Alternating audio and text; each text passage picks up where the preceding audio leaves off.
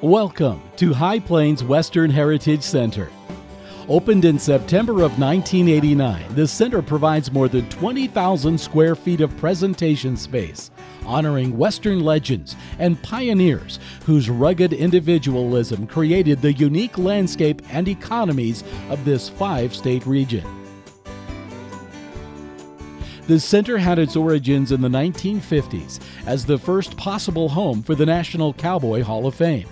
That facility, inspired by the plans for this building, was eventually built in Oklahoma City. But work went forward in Spearfish, led by the efforts of State Representative Edgar Gardner and Western South Dakota rancher Harry Blair. With true pioneer spirit, individuals and organizations joined forces in fundraising, and finally, in September of 1977, the ground was broken for the High Plains Western Heritage Center. Today, the center welcomes thousands of visitors each year to come and learn the stories and the legacy of our unique American Western heritage. The center is comprised of the main level and upper level and the grounds. This room is the Bruce Miller Theater. Its stage hosts Western entertainment and historical presentations. On the wall behind you, you'll find a large and extremely rare 40 star American flag, one of fewer than 12 known to exist. South Dakota was the 40th state. As you exit the theater, in front of you is the Founders Room. Waiting to greet you is a sculpture of the country's most famous cattle trail boss, James Tennessee Vaughn, the first to move longhorn cattle from Texas to greener pastures in Dakota Territory. It took Wyoming sculptor Gary Shoup almost as long to complete the 17 foot tall masterpiece as it took Vaughn to move his cattle more than three months. This room celebrates the achievements of these trail bosses, monument makers, and our founders. In the main hall, be sure to have your picture taken while seated in our 1902 Studebaker carriage. It's a real Surrey with fringe on top. Or step into a photo with our life size bison. They were indigenous to our region. In the Cowboy Hall is actor Tom Selleck's saddle, life sized longhorns, and the story of the cowboys of 1902 who led the country's largest cattle drive from right here in South Dakota. Rodeo is South Dakota's official state sport. In the rodeo room, you'll find actual saddles and buckles won by world champions. Spearfish is home to two of them Clint Johnson and Kurt Manke. In fact, the live steers you see in our front pasture are loaned to us every summer by Kurt. Here you can read the story of Cowboy Hall of Fame Buffalo rider Jerry Olson. And even the horses are remembered, like South Dakota's Tipperary, the world's toughest horse to ride. Find out if anyone actually did.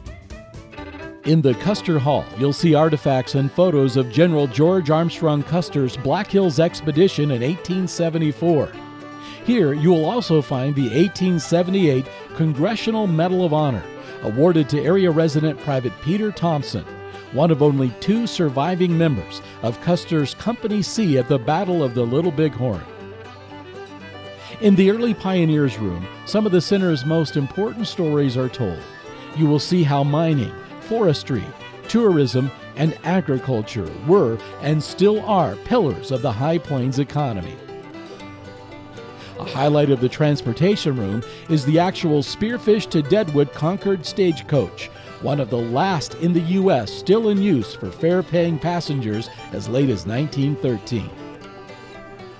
On the upper level in the Pioneer Room is a sheep wagon, the first RV.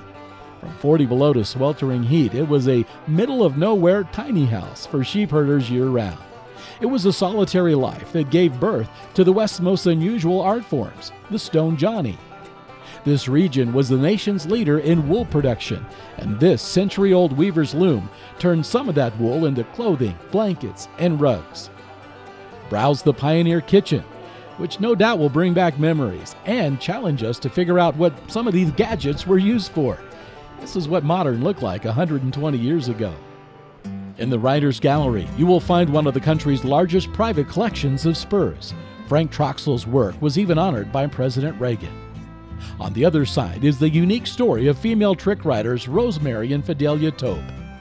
On occasion, Rosemary herself is on hand to tell her story in person. Stepping into the Frontier Room is a step back in time. Main Street in the 1890s, with a blacksmith shop, saddle maker, Pony Express station, newspaper office, and saloon. The upper level balcony features a dramatic three state view. In the distance is Montana and Wyoming. Also on the balcony is Native American artwork and artifacts. On the grounds is the actual Crow Creek Schoolhouse, peek inside and imagine what it was like to attend a one room school more than 100 years ago. You are also welcome to walk among our antique farm implements behind the center as well. Throughout the building, look for volunteers in red vests, ready to answer your questions. And be sure to visit our gift shop to find a wide selection of books, reproduction prints, Western souvenirs, including handmade Native American gifts and jewelry. We hope you enjoy your visit today to the High Plains Western Heritage Center. My, how time flies!